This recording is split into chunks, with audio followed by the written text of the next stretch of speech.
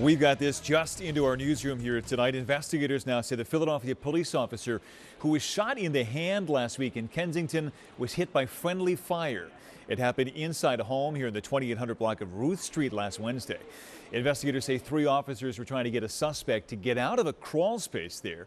When he refused, officers deployed a taser before opening fire, killing that suspect. Investigators say although the suspect had a gun, he did not fire any shots. All three officers have been placed on administrative duty pending the outcome of that investigation.